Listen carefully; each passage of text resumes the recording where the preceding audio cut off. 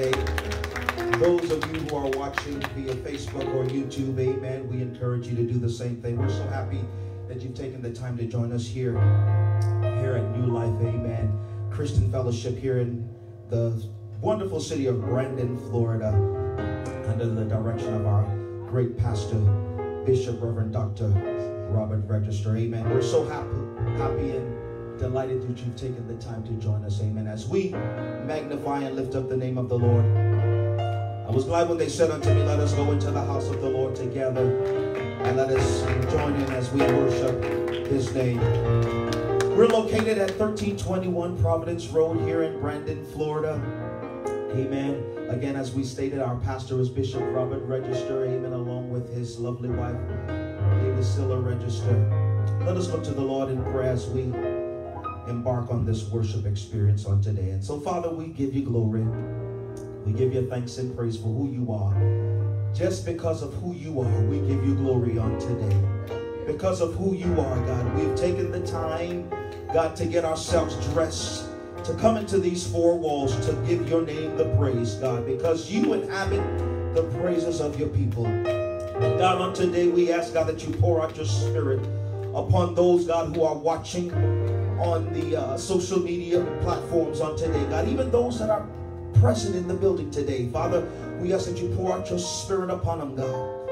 Let your word, God, be pour out upon your people on today. Let it come forth with power and authority. Father, we pray, God, that the songs that are going to be sung today, God, will come forth with power and authority, Father God. We pray, God, that your, your spirit would be in the midst of your people, God. Healing will take place, God.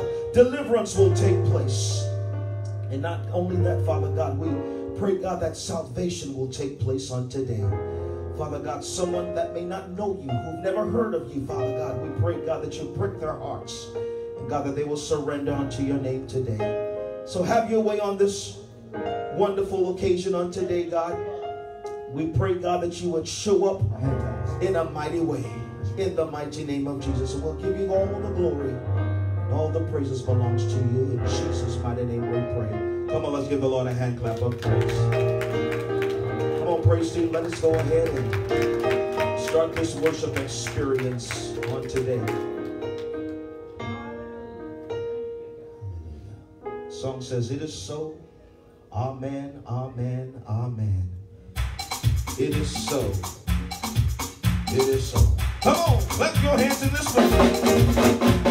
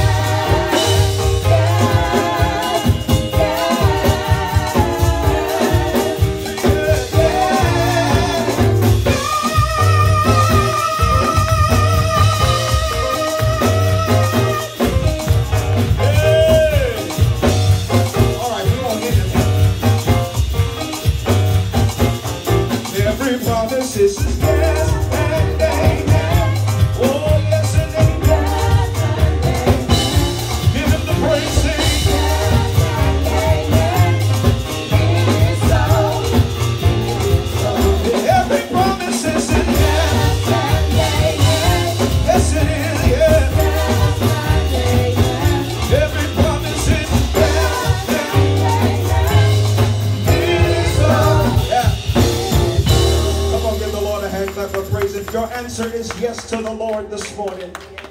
It is so.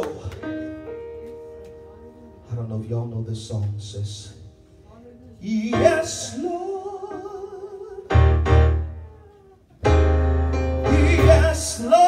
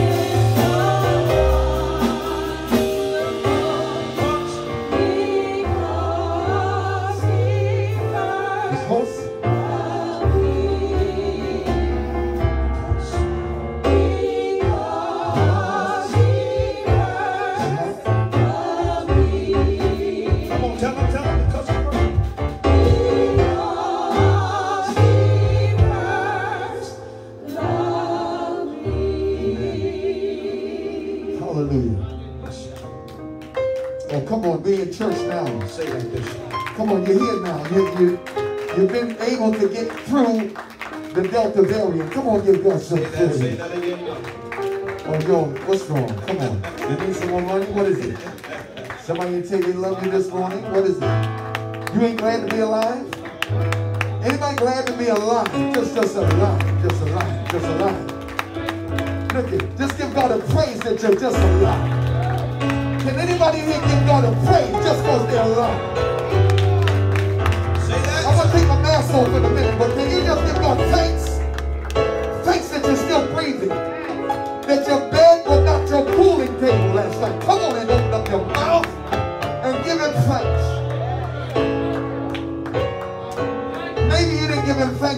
like you should have. Now you're in the right place. When your thanks is in concert, come on, open up your mouth and bless the name of the Lord.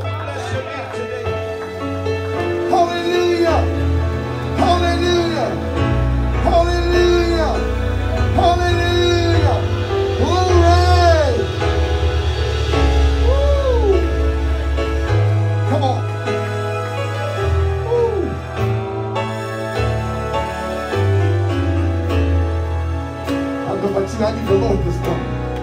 I sound I'm not tripping. I need the Lord this morning. My God. I need him this morning. Where are you? I need him. If I got to sing to make him come. Give it to you, Jesus. Hey.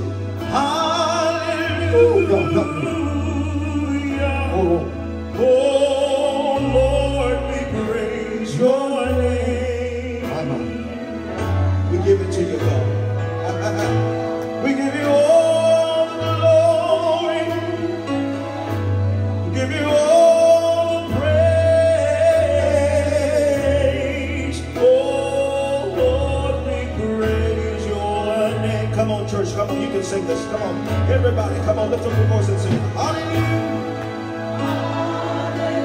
He wants to hear you today. Hallelujah.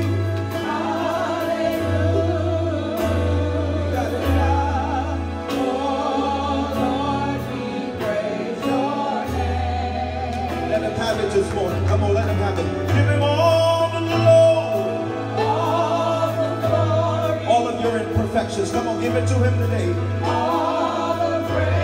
doesn't matter what you've done. He deserves your praises. Come on. Come on, I think we ought to lift that up one more time. Everybody, let's do it. Come on, everybody, lift up your voice and sing it. Sing it. Hallelujah. It's universal. Even in China, it's the same thing. Hallelujah.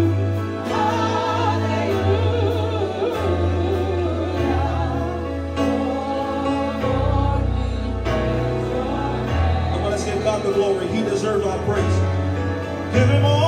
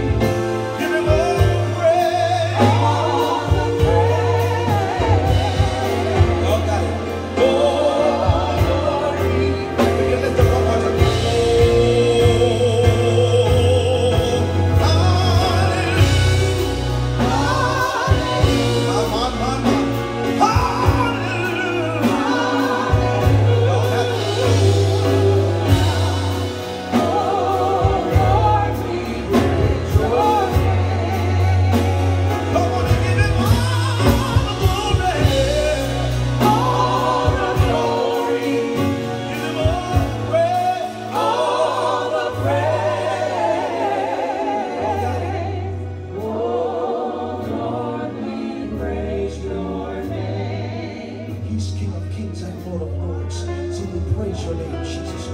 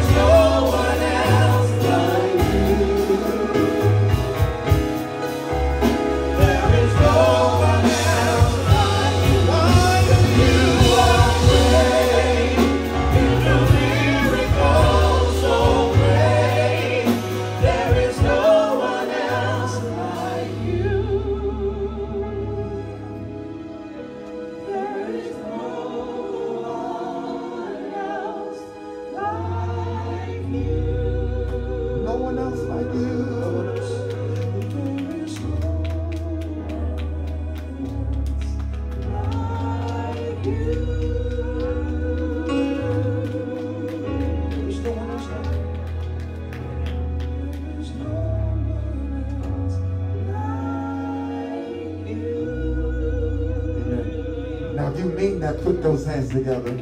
Let's give the praise in hand. They, they kept, I kept up here a little extended time. Amen. Praise the Lord. Thank you for your, your commitment to worship. Amen. Amen. Somebody say, this is the word of God. This is my word from God. Obedience to this word is the only weapon that I have. If I read this word, exactly as it says. According to the book of Joshua, chapter number one. I shall prosper. I shall prosper in every area of my life. I want you to see those areas that have been neglected. You say, when you say, I'm going to prosper in every area of my life, I want you to see growth taking place in those areas. I can be what this word says I can be. I can do what this word says I can do. Thank you, Father. Thank you, Father.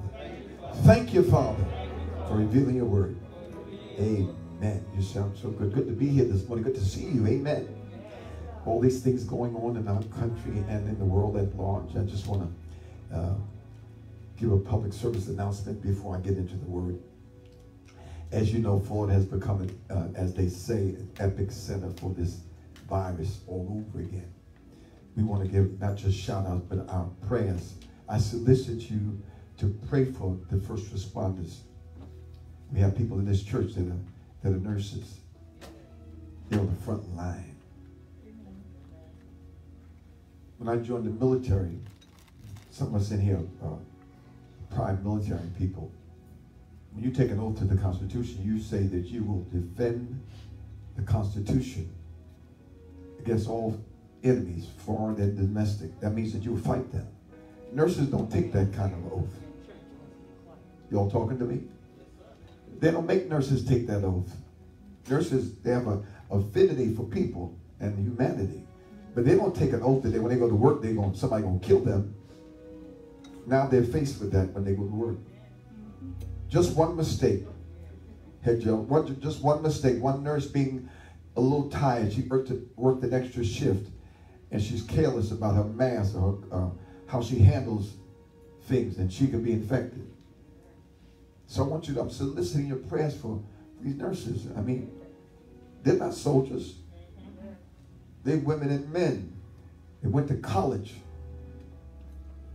Yes, they, they have a, a care and concern for, for, the, for those that are sick, but I don't think they ever thought they would be in a situation like this.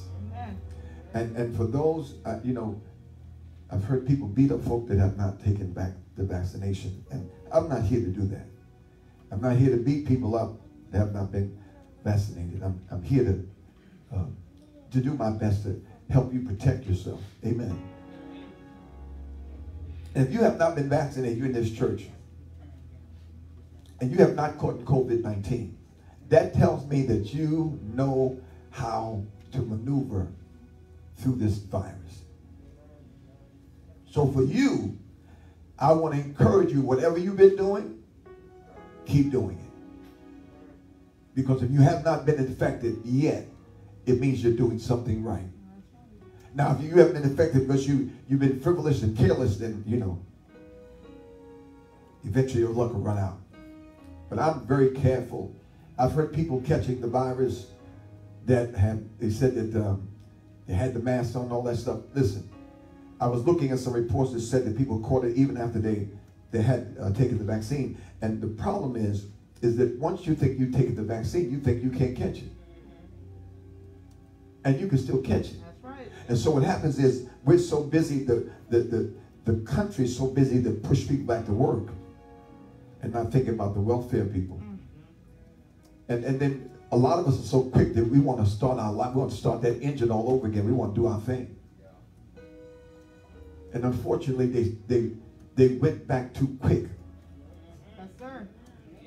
And because they went back too quick, they're going to have worse, they're going to have the problem that they, they, they thought they would have.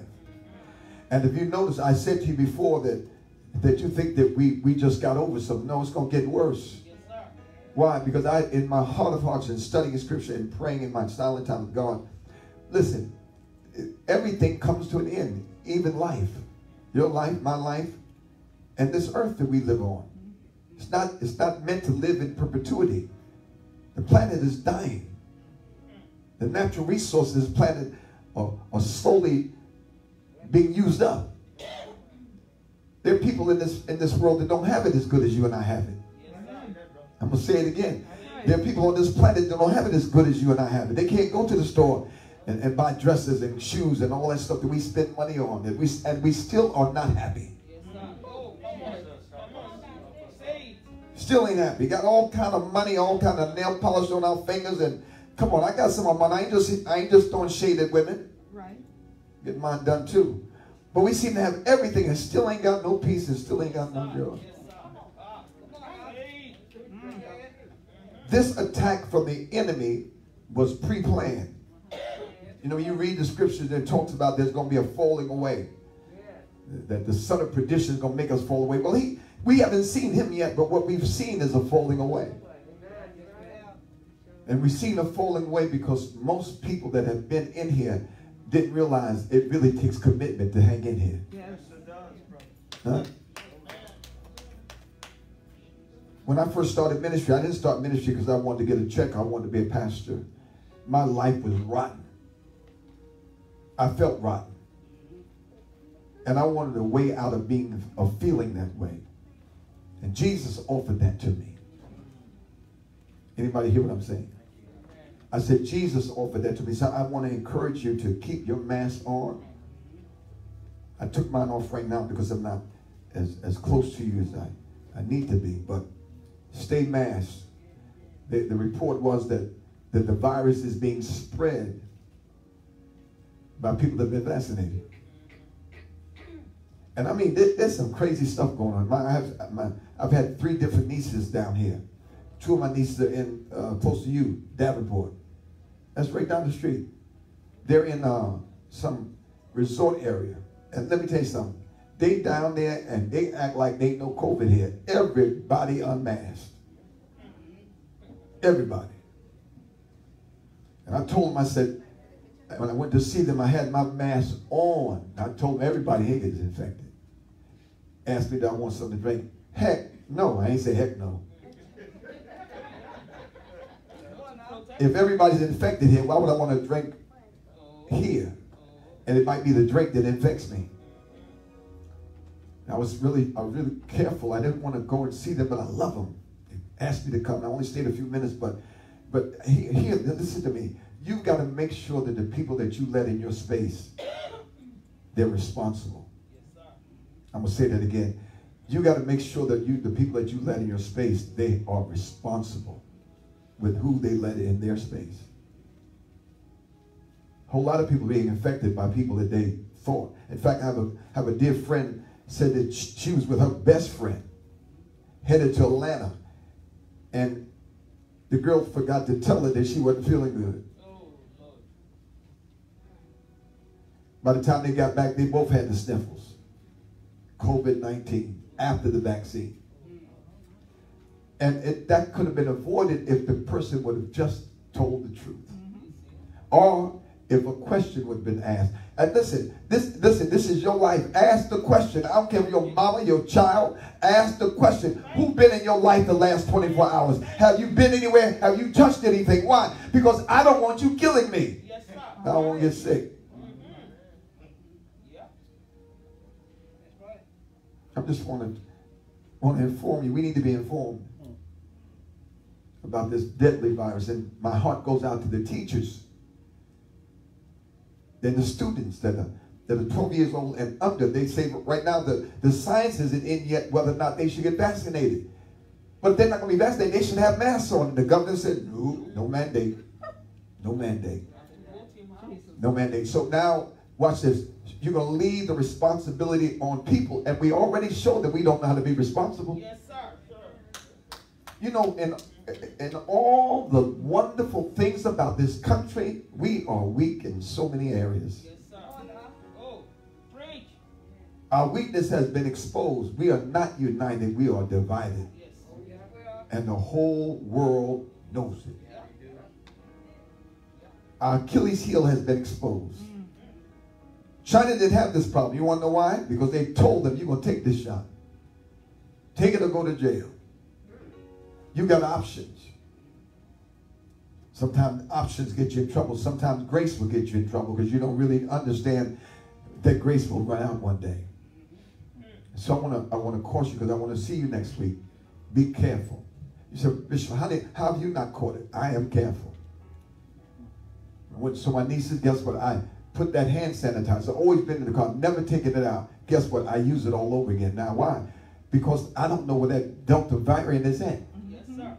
And, and come to find out, you know, it's not just, forgive me, hillbillies not taking the vaccine. You got some black hillbillies ain't taking it. Mm-hmm. And I'm not saying that in a derogatory sense. Come to find out the only people at my niece's party was her fiance. All the rest of them have not, have not had the vaccine. I said, okay, y'all stay your distance from me. Why? Because uncle did your uncle, your great uncle didn't come down here so you can get him sick. I have a mission, I have a purpose in God, and I'm not going to allow my purpose to be defaulted because I'm not circumspect with my time. I'm not monitoring who comes in my life and where I go. When I leave here, I go home. Just give me a few moments to just, I, I, I, why? Because because if, if, I did not go straight home and started hanging out, guess what? I'll get myself infected and infect you. That's true. The only people I hug or touch are you. I don't touch anybody else. I don't shake anybody else's hand. We had some people come by the house the other day. Guess what? I didn't know where they had been, and I let my wife entertain them. I stayed locked up. Now, that might have been unhospitable, but guess what? I'm not dying from no COVID. Yes, I'm not getting sick from people that I don't know.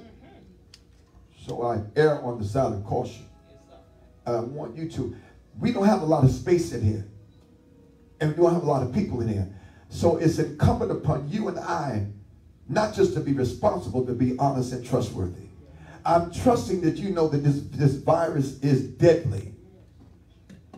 That you're going to walk and be careful about where you go and where you don't go. Because I need to be embraced. I need to feel that somebody loves me. And I don't want to I don't want a, a, comforting hug and at the same time get sick. Okay, come on now. Yes, sir. Am I talking to you? Yes, sir. All right. Let's go to the text. Amen. Amen. Uh, Matthew 28, verse 18 to 20. And this is becoming better fisher of men part two.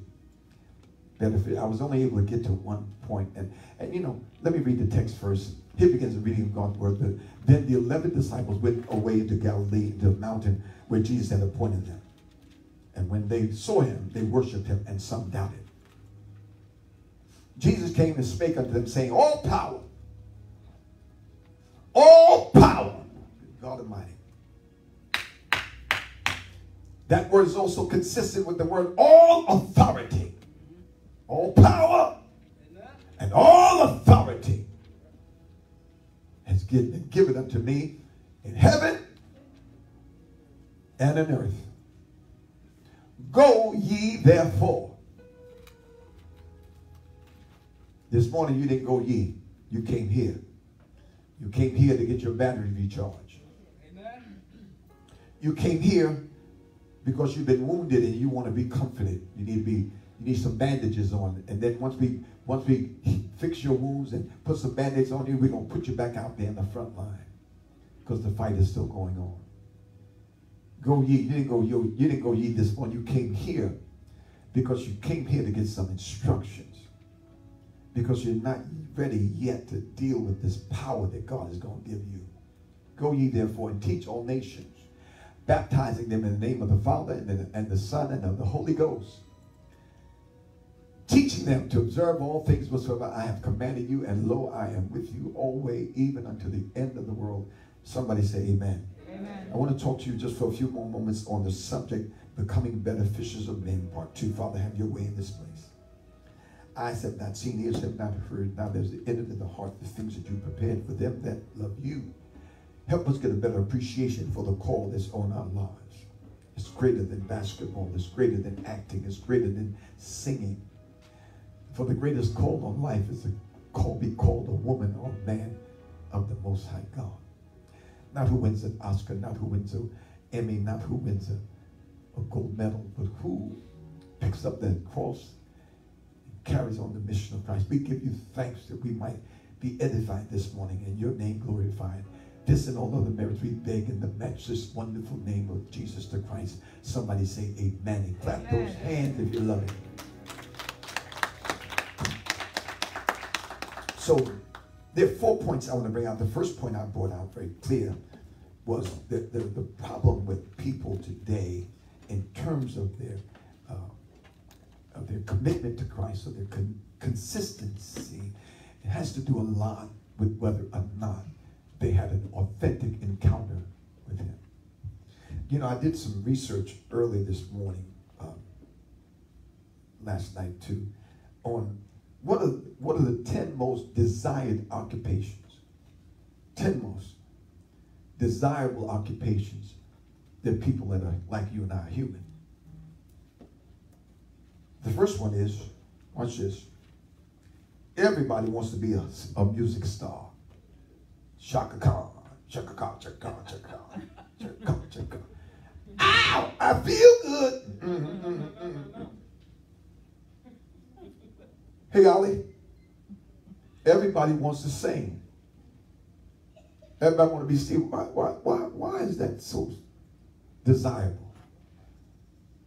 Why you want to be Prince? He's dead.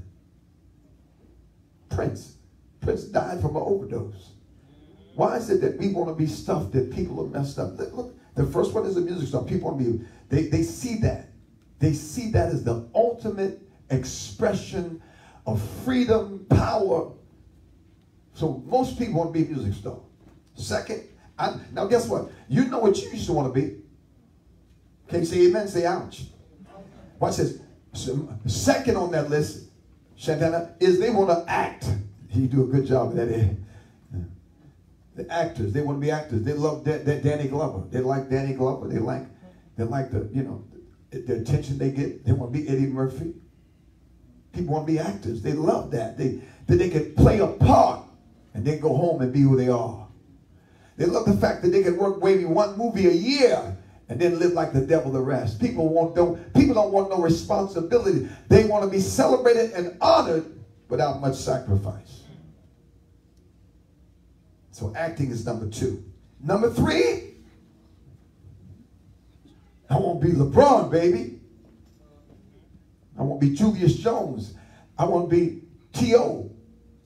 I want to be this great receiver. I want to be Tom Brady, man.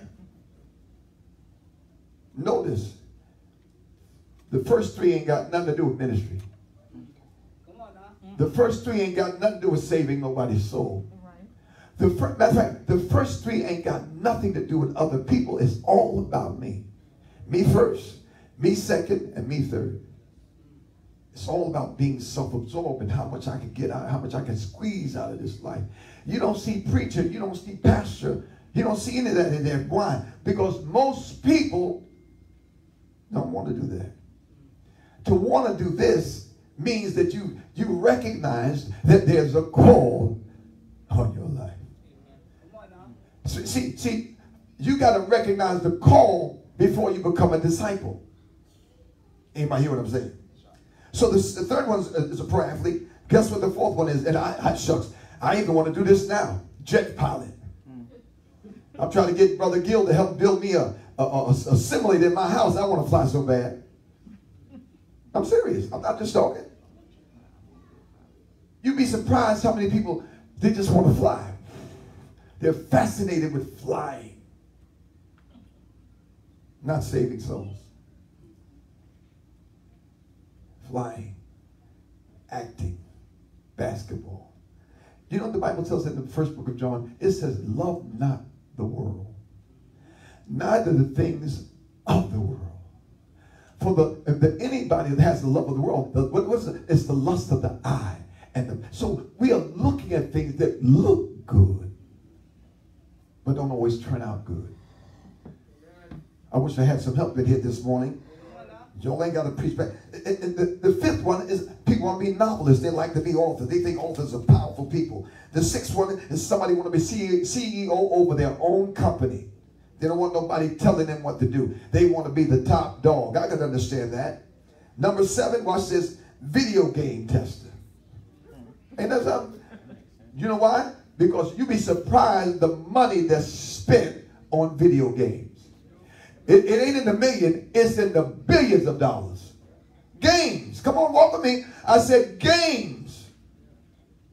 People want to, why? Because there's money in it. They ain't just having fun. Folk want to have fun and make money. You'll catch it in a minute. Number eight, this might, this might shock you. Porn star. Look at that. Not a deacon, not a deaconess, not a wife, not a father, but a porn star. These are the most 10 desirable positions of employment that we think are marvelous. We think are noteworthy. We think are, are desirable. These things. And in nowhere on this list does it say teacher, educator, no one, nowhere in the list does it show somebody with some compassion or desire to help anybody else. Why? Because we're we're we're, we're becoming more and more every day more self-absorbed, more about ourselves and not about other people. So watch this. So it goes without saying that we don't have people in the church like we had yesterday because most people in the church have not had an encounter with Jesus. They've had no encounter. See, you've got to have an encounter with him in order for in order for you to come to a place of surrendering it all. Somebody say an encounter. So that's the first thing we said. I gotta have an encounter with the Lord. You know what the Bible said. Now here's what the Bible tells in the book of, of I think it's the. 1 Corinthians chapter 2, 1, 2, and 3. It describes the type of people that God calls into the ministry. Just, just give me a few moments. Watch this. So if you're wealthy, educated, come from the upper echelons of society, he might not call you.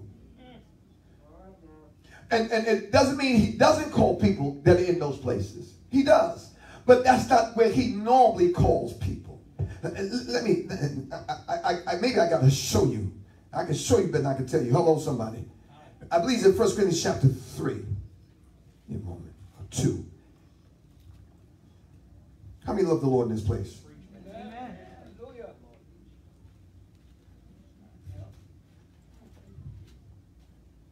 I love Jesus.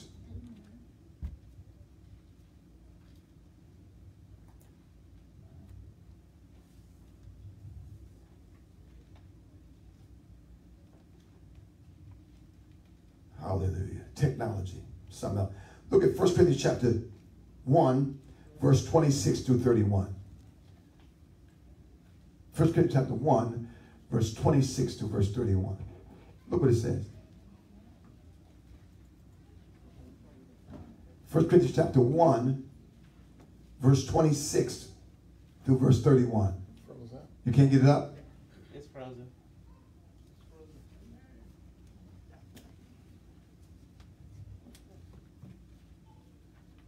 Let me read it.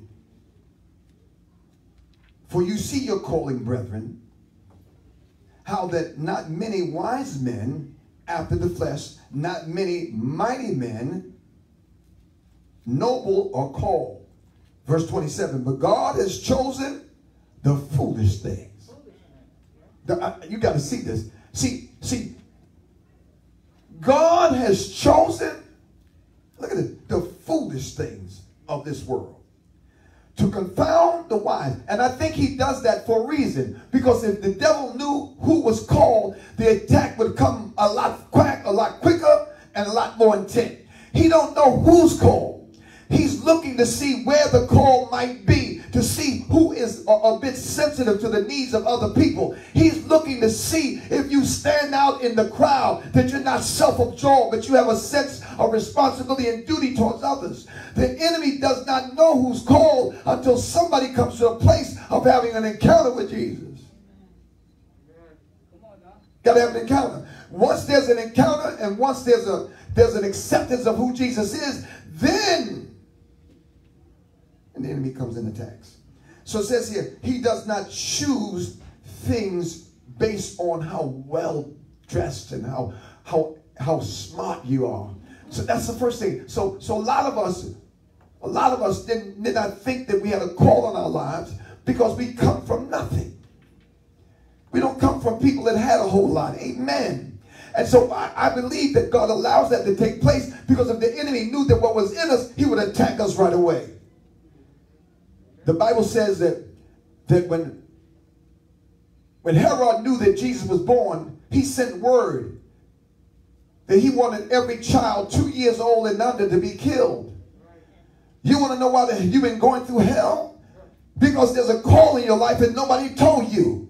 You want to know why you was abused and molested when you was a child? Because there was an anointing on you as a child. That's why the enemy attacked you and attacked you often because there was a call in your life. You was no bad kid. You wasn't the black sheep of the family. There's an anointing on you. You want to know why that killed her didn't kill you? Because God put something in you that could not be destroyed.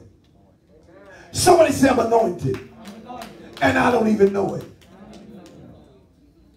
Anointed but in a bar. Anointed, but struggling with crack.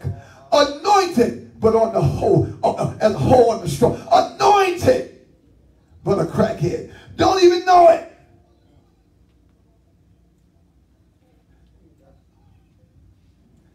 And people look at you and say, man, he, he or she's not going to make it. But you'd be like, you'd be surprised. That's the person that will make it. Why? Because of the anointing. Some of us should have been dead Sutton, why couldn't the crack kill us? Why? There was anointing on you. Why couldn't the liquor kill you? Why couldn't the bullet kill you that was in the chamber that when the gun was pointed at you, you should have died. You couldn't die because there was a call on your life. I wish I had somebody in there understood the call of God on their life and had passed through death many times, but you're still here. Who's still here? Who's still here used to be a fool out in the streets? Who's still here used to drink and do all kinds of crazy stuff in car accidents and want to know how you survived? How you survive all that alcohol. You did it because there's a call. And whenever there's a call on a person's life, God is obligated to make sure when you don't know the call is on you to protect you. Yes, sir until you can protect yourself. Do I have a witness in here? Listen, there's some things right now I don't need God to do for me. Why? Because I've learned how to do it for myself. When the enemy comes against me like a flood, guess what? I know how to take the weapons of my warfare. They're mighty through God through the pulling down of strongholds. I'm not a child anymore. You just can't make me feel bad anymore. Come on, somebody. You just can't make me feel like I ain't nobody no more. Why? Because I've come through the rough side of the mountain. I have been in this test for a while. I know in who I am and whose I am. And I know in who I believe. Do I have a witness in this place?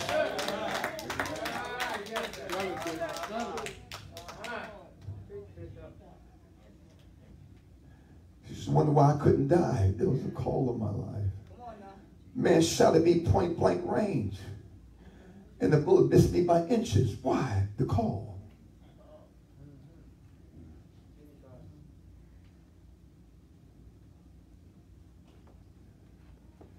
The call.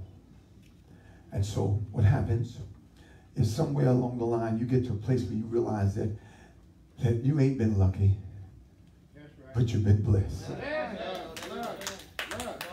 Look, it had nothing to do with that. That that, that, that, that trigger being stuck. Luck ain't had nothing to do with, with the bullet missing you. Luck ain't had nothing to do with, it. I wish I had it with, luck ain't had nothing to do with it. And the fact in the last 18 months you ain't caught COVID. Hit that organ for me. Hey, luck, luck, luck ain't had nothing to do with it. I ain't got COVID and I done been and done funerals. I done been to Mississippi. I done been to Georgia. I done been to New York. I done been back forth all up this down. And guess what? I ain't got COVID. It ain't luck. It's God's grace on my life. I'm not stupid. Somebody holler in this place for me. Somebody holler for me.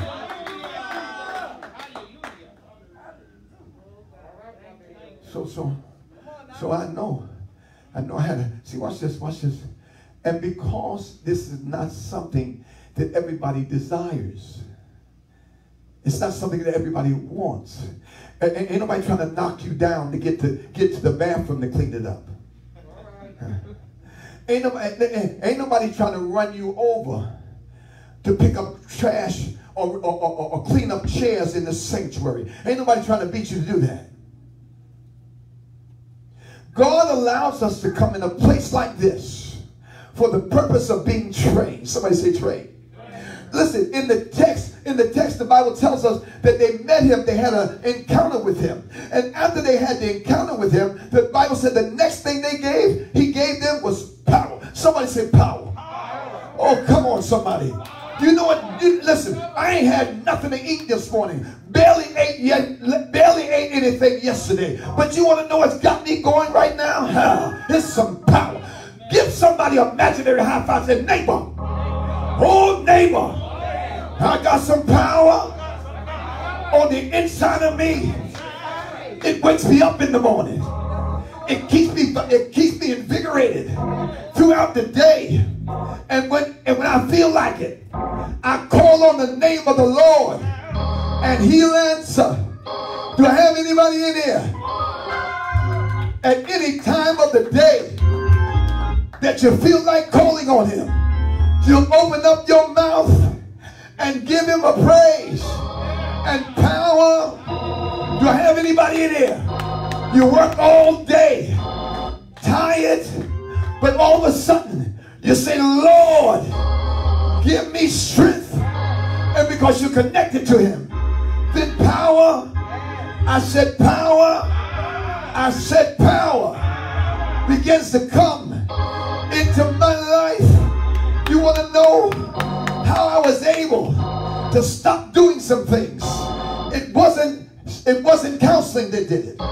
It wasn't fear of hell that did it. It wasn't my wife arguing me that did it. It was power. Somebody say power. Power from on high. They said I was going to be nothing but nothing but like my daddy. But what they didn't know, I had something on the inside Somebody say, I got power. Power to say goodbye. Somebody say, I got power to say goodbye. Open up your mouth and say, neighbor, I got power to say goodbye. Sayonara. Arrivederci. Oh, wow. Somebody say, I got power. I don't know what I'm preaching to. But there's some things you need to tell goodbye. It might be Sarah. It might be Hagar. It might be Billy. I don't know who it is. But you got to have the gift of goodbye. Tell your neighbor, neighbor, I need power to say goodbye to some things that have been affecting me the wrong way. Open up your mouth. Power. Power. Power. Why is he giving us power? Because he wants people to see that since Jesus ain't here no more, that he left a little light in me. Let your light so shine. It can't shine without power.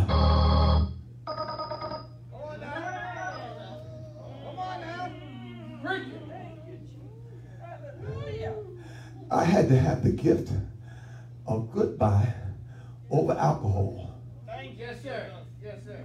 I know some of y'all that that one your I had to get the gift the goodbye over cocaine. Yes, sir. You, you know why? Because it was a stronghold in my life. Mm.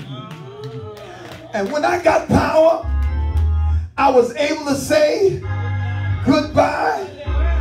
I was able to say goodbye, goodbye, goodbye to my sorrows, goodbye to my sorrows.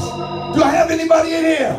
When you get power, God gives you power to tell your devils, Arrivederci. Oh, wow. Do I have some help in here? Open up your mouth and say, I got power.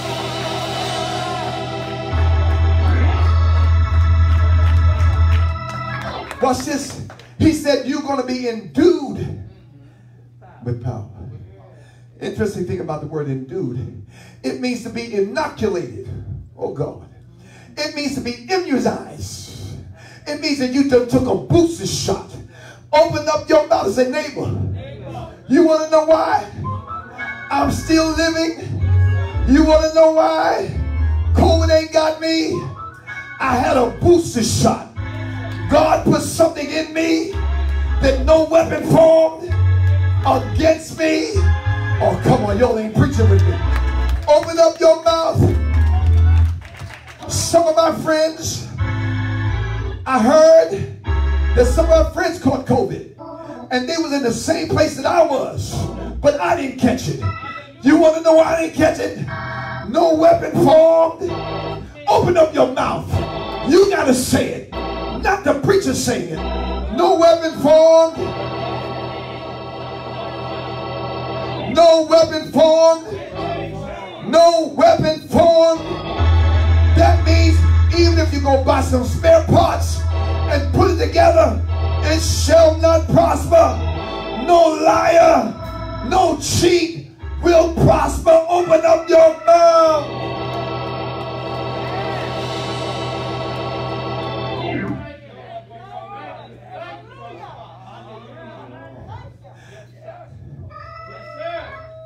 Mother Eloise, you got power, power, Holy Ghost power to reach into your 90s. I told somebody yesterday, I want to be an octarian. I'm in my 60s now. That means I want to reach to 80. And I want to be just like I am, strong and committed to the things of the Lord. Do I have anybody in here? You're not where you want to be yet, but you're ready to climb higher than you ever been before. And I can do it because I've been endued with power. My success come from the fact that I got something on the inside of me that won't let me fail. Won't let me fail. That, that's what it says he told them, see, when you look at this text, you know, it, doesn't it doesn't talk about the baptism of the Holy Ghost, and, and people get confused and all this stuff. But when he gave them power, he also gave them power to forgive sins. And this is where the church went wrong. You and I don't have the power to forgive sins. You and I have the power to forgive each other. The problem with the church is that we've taken some scripture and we manipulated them to suit our own purpose. God never gave a man the power to forgive another man of sin. I can lead you to Christ, but I don't have the power myself. I don't care how many boxes I make, how many beads I got, or how many Hail Marys I tell you. I do not have the power to forgive you of sin. So, some of my brothers in, in, in another denomination, another faith, they tell people, I'm you forgiven. They come in the box, they tell them what they did wrong, they say, you forgive it. You don't have that power. That's right. That's right. The, the, the, Bible says, they said, who can forgive sin? Only God. Who is this man? How can he forgive sin? He said, since you said only God can, he said, since that the Son of Man might show that he has power on earth, I say to the sick of palsy, take up thy bed and walk. Because the only person that has the power to forgive sin is God. But watch this that power is also available to influence. You are in here today because you've been influenced. the influence, the grace that's on my life, the grace that's on somebody else's life that you knew that were going here, they influence you. See, that, that's why you got to be careful with this power that God gives you. Amen. Because he, if he gives it to you, he ain't going to take it back. All right now. The gifts and the calling of God are without repentance. So watch this. Before he gives you something, and you know what they call this power? They, they call this power, uh, uh, it's the Greek word. No, no that, that's, a, that's another Greek word. Uh, that, that, that, that word is, is dunamis is only a, a title to God. But this word, the, the word called exousia, which means power and authority. God is not inclined to give you power and authority if you how to use it. Oh, you only hear me. See, the problem, listen, you know America had, when they talk about America was founded on the principle of God, there's some truth to that. Why? Because you see the country the way it's running. He gave certain people the power to influence this nation. This nation is running a certain way because God had given people influence. You're only talking back to me.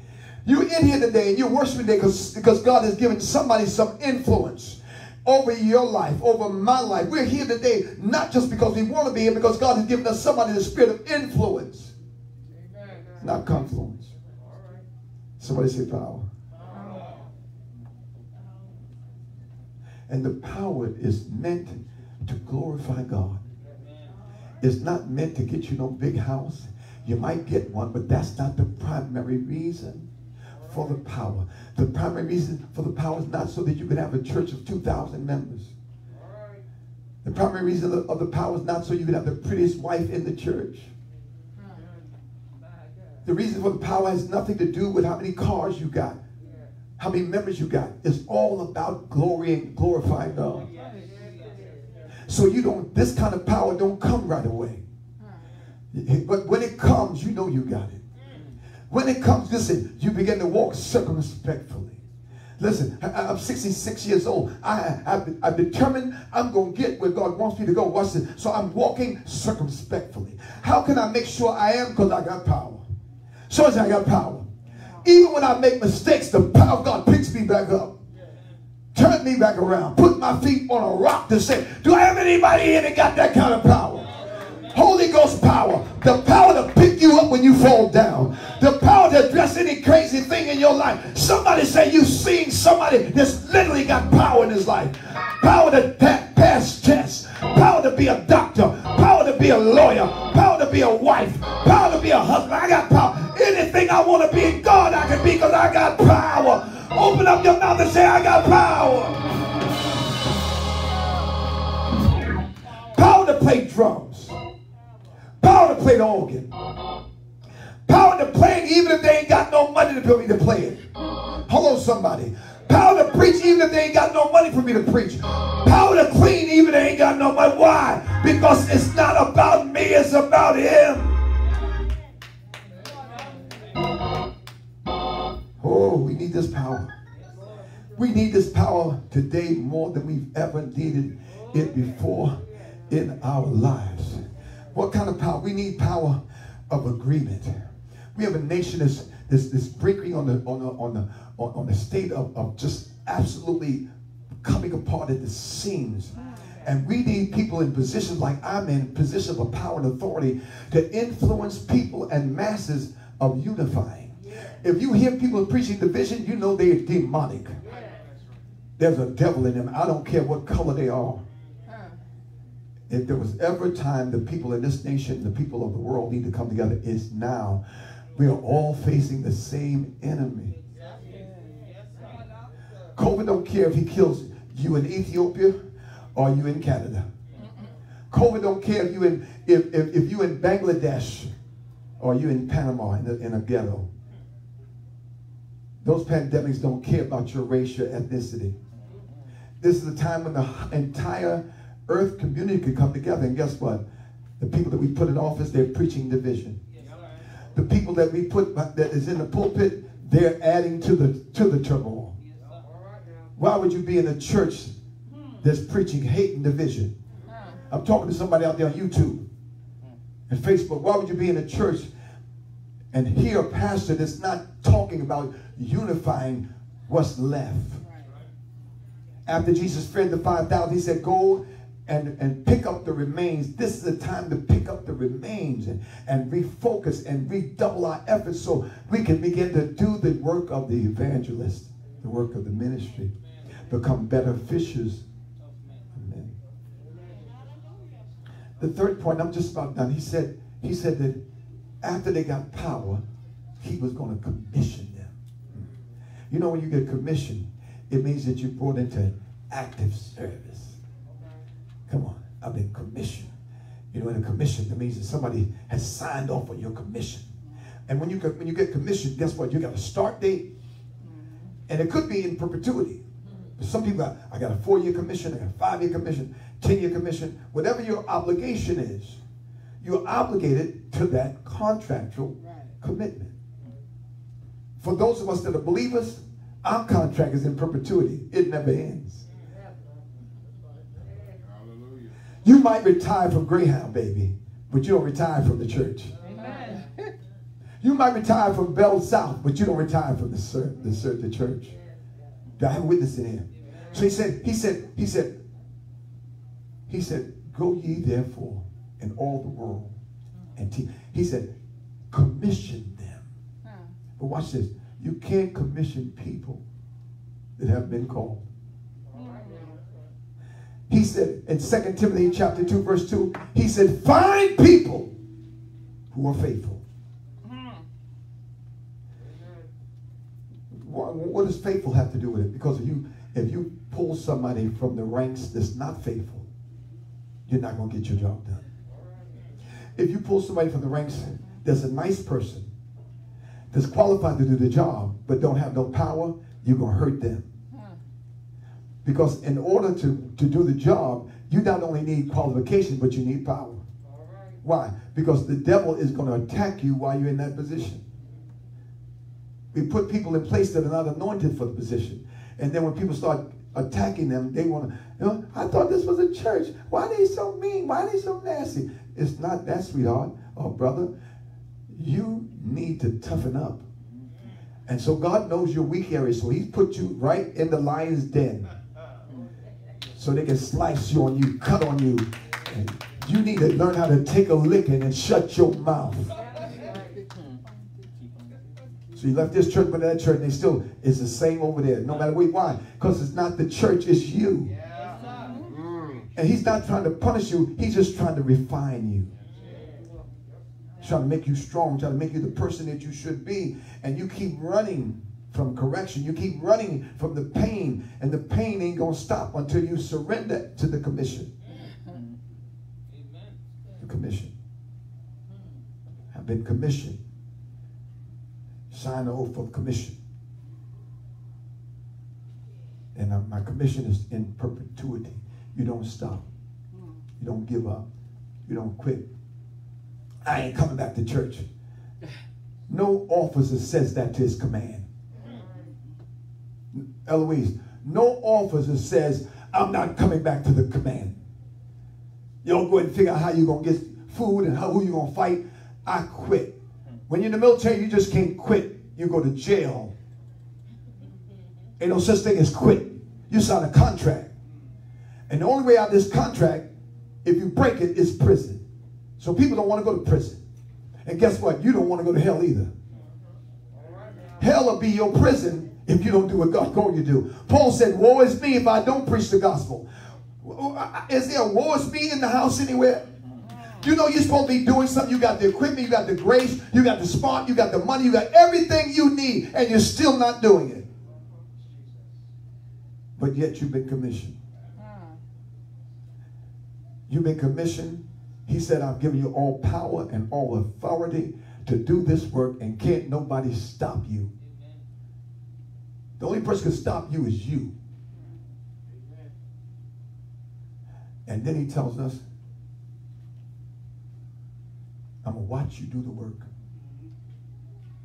And I'm going to be with you every step of the way. So I said, Pastor, you have any fears? Yeah, I got fears. What are they? Getting old. Dying. Don't you have those fears? You know why we have fears of getting old? Because guess what? We don't have we don't be we don't want nobody to take care of us. We, we know what it looks like. Come on. We know what it looks like. And we know, we know right now some of the people that are in our space, and we know we keep getting older real fast. We don't want the people that are there right now because they ain't gonna show, ain't gonna take care of us.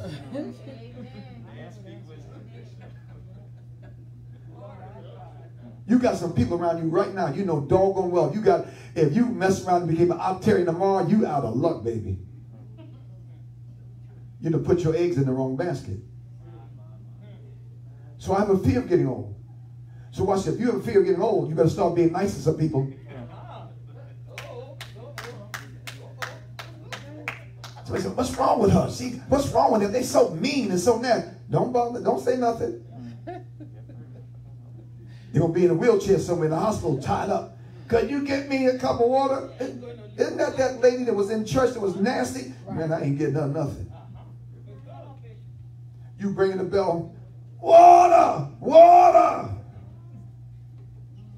You forgot how nasty you to people. Anybody hear what I'm saying? Commissioned them. He commissioned them. And he said, watch this. He said, part of the commission is that you're going to have to teach people. Now, here's the key. What makes disciples strong is that Jesus said, you, if you're going to make somebody a disciple, you have to come alongside them. And you have to walk them through the process. Some of the marriages that we see crumbling and coming apart wouldn't have come apart if some of you women would have just got in there with them stood alongside that, that young, immature wife, held her hand, and even though he was a wayward man, he had potential. And while the ship was being tossed to and fro, and she was about to head to the divorce court, you was right there with her. And every time the ship took a turn, you took it with her. Said, hold on, baby. I've been here. Don't, don't, don't give up yet. Then when the storm ends and restoration comes, she looks at you and says, thank you.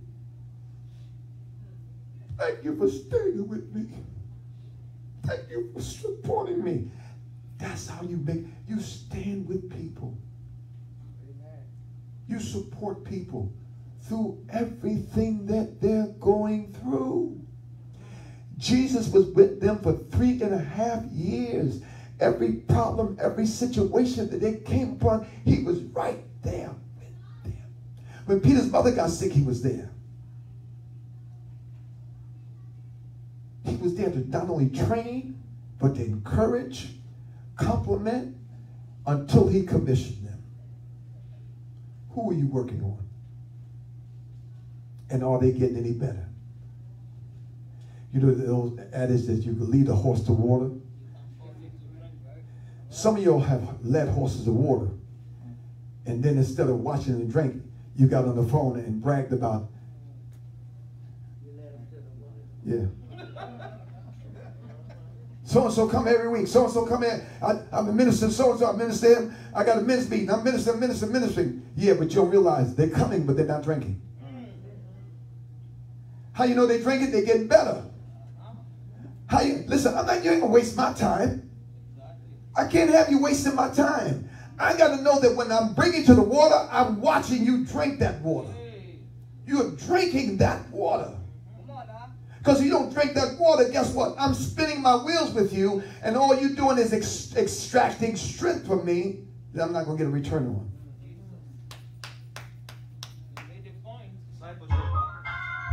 Discipleship takes work. But watch this. At some point, you got to know whether they're going to make it or not. At some point, you got to be able to cut your losses. At some point, hello, somebody. I'm closing.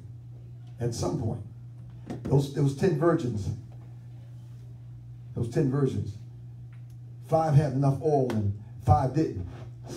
And when it came time for the, for the bridegroom to come, the five that didn't have enough oil, you know what they said? Hey, give us some of your oil. You know what they said? I ain't giving you none of my oil. Matter of fact, if you get downtown quick enough, you might be able to get some oil. Let me tell you something. Most of all of us in here got people around us that don't give us anything back.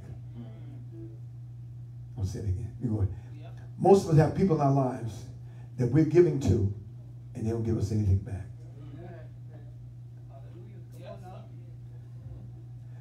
You got to know who they are and you have to know how to cut them off. Get your own oil. Somebody said, get your own oil.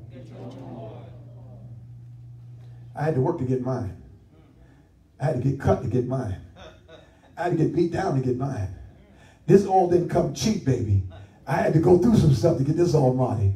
I had to fall down a few times to get this all. I had to tell people I'm sorry. I had to tell my kids, forgive me. I had to tell a whole lot of people, I'm sorry to get this all. And you think I'm gonna just give this all to you because you didn't get because you you forgot to get enough of it? No, baby. You gotta learn to get your own oil. And if I'm discipling you, guess what? You ought to have enough oil in you to get out of your dilemma. That's what Elijah told the woman. He said, What do you want from me? She said, They're coming to take my kids. He said, What do you have in your house? She said, I ain't got but a little oil. That's all it's going to take. And with that little oil, she worked her miracle. You got enough oil in you right now to be commissioned to be commissioned to do the work of the evangelist, to do the work of the, the pastor, to do the work of the uh, of, of apostle, to do the work of the teacher and the pastor and the teacher. You have the ability right now. I used to tell people that I want to have a church, I want to have these 12 leaders, and they all be on payroll. They're in here. They're in here. But guess what? God can't write you a blank check until you demonstrate that you are worthy of the commission. You know, they say that the, that the, te- the, the teacher will show up when the student is ready to learn. Your blessing has always been there. God's just waiting on you. Just waiting on us. Father, have your way in this place. Have your way in this place, Jehovah God. Help us see and how the importance of having that confrontation, that, that, that encounter with you that can shape, change our heart and our mind. Where we thought we were nobody and nothing, and you gave us everything that we could ever ask for. Now commission us. Commission us to the work. Give us that anointing, that power from on high, and then give us the responsibility to care for it, to love it, to appreciate it, to grow in it, grow in His grace. We give you thanks, we give you honor, and we give you praise in the matchless name of Jesus. Right? Come on and clap your hands if you love Him. You know that today is the first Sunday in August, and I, I, I, was debating should I wear a white suit? Should I come out here and look at traditional? And God said, Look, this ain't the time for tradition. There's a pandemic. He said, Go out in your battle uniform. Get comfortable. Be comfortable today. Amen. So when you come to church, if you want to dress up, dress up. You want to dress down, dress down. I want you to be as comfortable as you can possibly be and safe as you possibly be with this pandemic. Are you listening to me? So when the church is over, we should be doing a whole lot of congregating together. Aye, aye, boy. Right. Mm. Right, right. Amen. Aye, Captain. Tulu, Tulu, Tulu, Tulu. Don't don't get offended when people say Tulu. It's for your own. It's for your own health. Health. We want to hug. We want to embrace. We need it.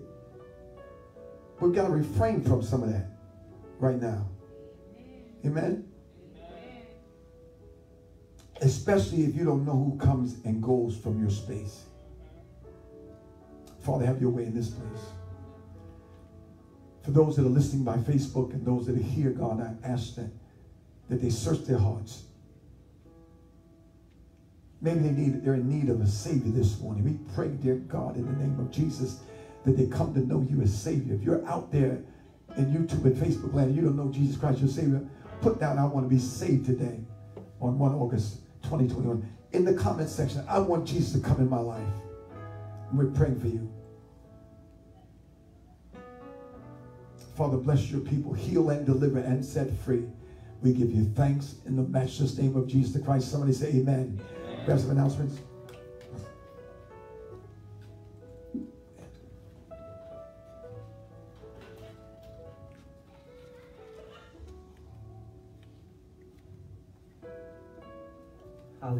Bless the Lord. Amen. Amen. Thank and praise God for the word. Let's give the Lord a hand clap of praise for his word. Thank him for salvation. Thank him for the souls that belong to him. Thank you for those who have come into the midst of the sanctuary and have received the word. God, we thank you for all that you have done. And at this particular time in the service, we're going to prepare for our offering. Amen. So if you have an envelope and you would, or if you need an envelope, you can raise your hand and one of our ushers will be happy to give you an envelope to be able to give back unto the Lord. Amen. Amen. And those of you who are in Facebook land and who are also in here have seen the other optional ways to give. We uh, have the opportunity to give online. You can mail your checks or money orders in. Amen. Or you can give here freely and freely give. Amen. We thank and praise God for technology that gives us the ability to be able to give. I see a few of you still preparing to give your tithes and offerings and special offerings. So I'd just like to review a few announcements while we're waiting for those to get ready for prayer. Thank and praise God for all of our visitors, whether you're a first time in Facebook or whether you see this posting later on YouTube, we thank and praise God for you connecting with us on today. We want to encourage you and thank those who have already given to our back to school supply drive. There is a container in the rear of the church in our children's church area for those of you who would like to donate um, supplies for our students. I believe the 10th of August, they're preparing to go back to school of all of our school-age children. If you'd like to give a monetary donation, that's acceptable too, and we'll make up the difference. Whatever you see that you see that you decide you want to give. We don't have a specific list. We want you to give according to your heart to support our back to school drive. Amen. Hallelujah. At this time, we'll go ahead and continue with the offering and finish the announcements later. Amen. Ushers, you may serve the people.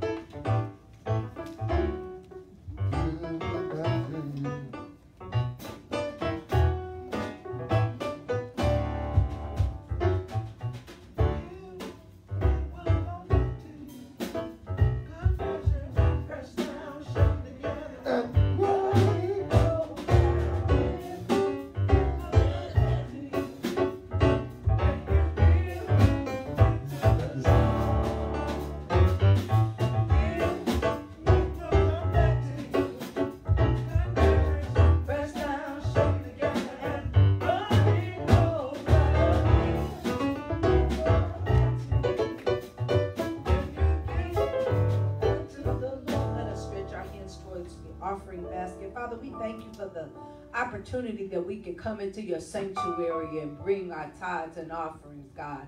We ask you to bless those who have given online, bless those who have given their checks in the mails, oh God, that we can continue to have a house that we can come in and worship you together in the spirit of truth and the spirit of love, oh God.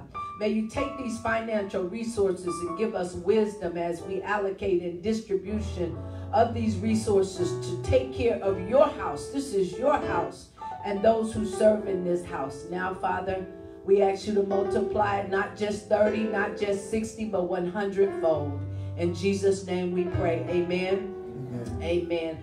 As the ushers are taking the offering back, we're going to also prepare shortly to get ready for our communion. Just a few additional announcements as we are preparing our hearts and minds also for our communion time. We have a, a card, couple of cards to read to acknowledge, amen, the gift of thanks.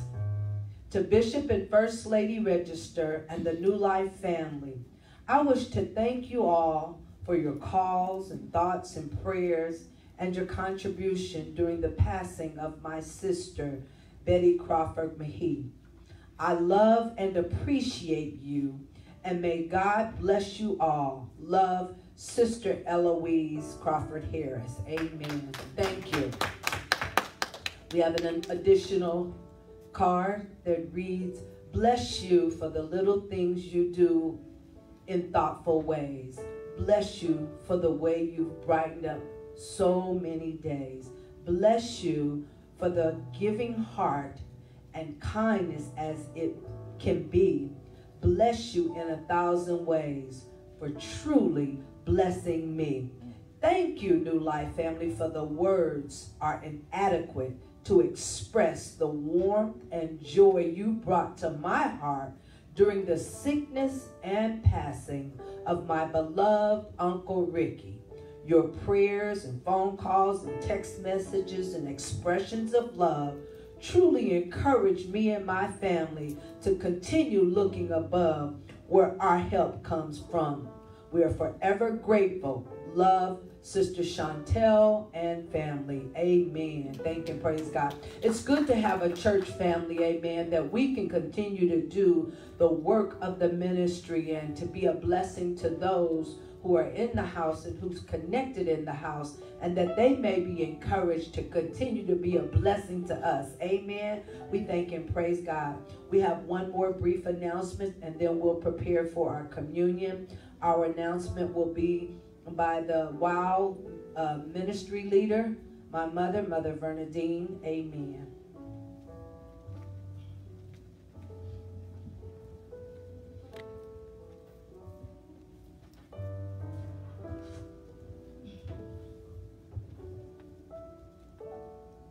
Good morning, New Good morning, Good afternoon. Good I should afternoon. say. We praise God for Bishop's message on this morning, Fishes of Men, and part of the women's ministry. Carla says the WOW ministry, but it's the women's ministry, and we Amen. have a Women of the Word Bible study, which is the WOW Bible study. Amen. And so I just came here this morning. I could go on.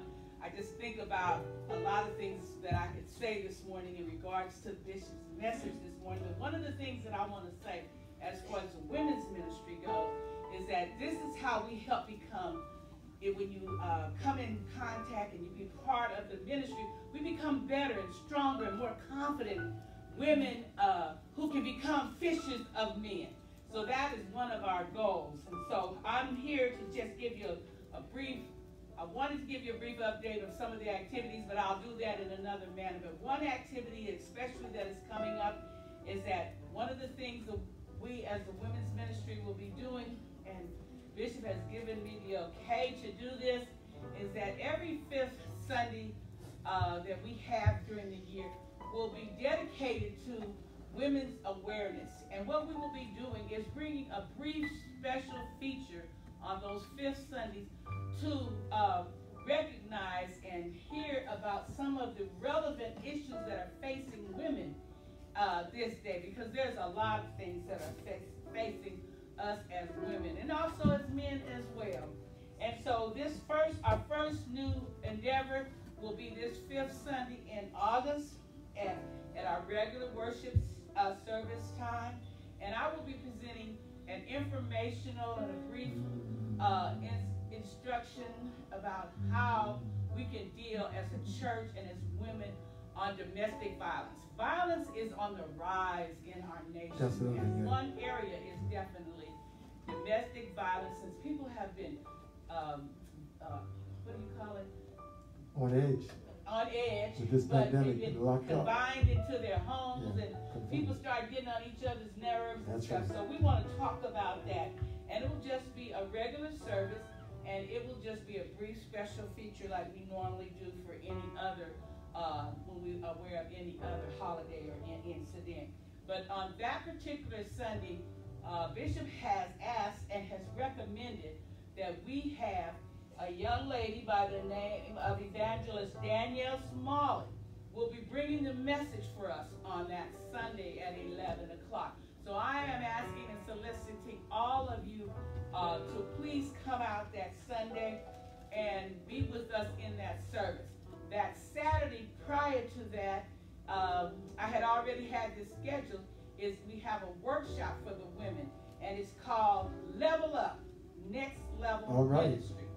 And so it's going to be a, um, we have a young woman that will speak to us, and we have worksheets and workshops.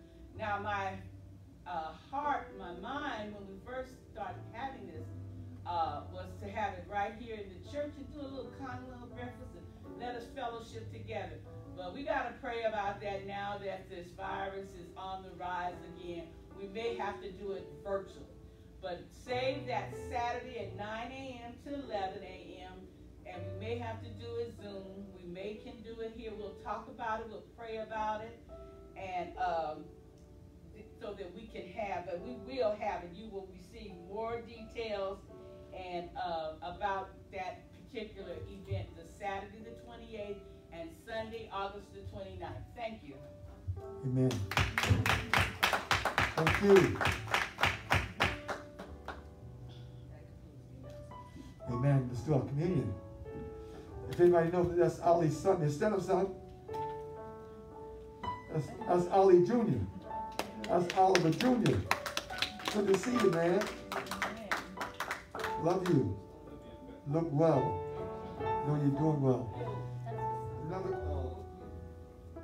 I forgot to put this out uh, earlier, right before communion. There's been a tremendous amount of killings, especially in black communities. It's, I mean, the numbers are are, are startling in, in places like New York and Chicago, Houston, Texas, California, these major urban areas. They, they do a lot of killings. I want you to pray. We got to pray that demon out of the, these areas. We'll start praying this this week. We, we got to see healing come. That's the job of the church to to bring preservation to these places. So um, don't take your eye off that ball either. It's not just about the church, but we want to make sure the killing stops too. Amen. Another pandemic. Yes, it is. On the same night that the Lord was betrayed. Amen. Has everybody got their communion cup?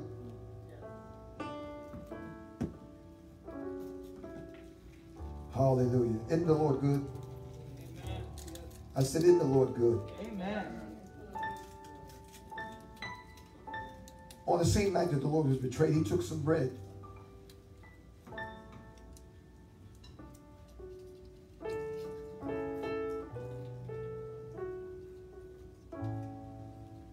Somebody had swiped my bread. It was gone.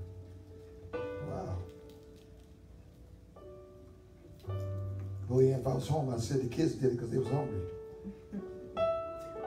When he gave the thanks, he broke the bread and said, Take, eat, this is my body which is broken for you. This do in remembrance of me. Break bread, eat it. After the same manner, when supper was over and supper had ended, he said, This cup is the New Testament in my blood. This do ye as often as you drink it in remembrance of me. For as often as you eat this bread and drink this cup, you show the Lord's death until he comes. Drink. Hallelujah. Glory to God. Stand for the benediction. How many glad you came to our church this morning? We're open. Somebody say the church is open. With certain protocols.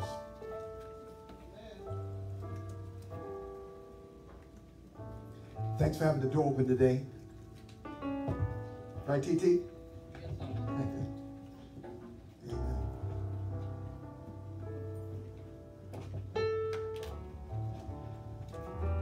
All hearts and minds are clear. Brother Hagel, good to see you, man. Good to see you. Father, we thank you. We thank you for, for seeing something in us when we didn't see anything in ourselves. We thank you that, that when we didn't see anything in ourselves, it left us a sense of, of wanting us, a desire for more. And thank you for giving us your spirit. We have the power to conduct business on your behalf. You said that we're to occupy until you come. Now unto him who's able to keep each of us from falling He alone has the power to present each of us faultless in the presence of his glory with exceeding joy. To the only wise God, our Savior, to him be majesty, dominion, and power, both now and forevermore. And may the fellowship of the Holy Spirit remind you that if any fish or any souls are going to be won, they'll be won because you and I were fishing for them. And you and I stood beside them and watched them go through the process before God commissioned them. Be blessed and go do your job. In Jesus' name, somebody say amen. amen. Make sure you greet somebody before you leave. I love you all. Look to see you.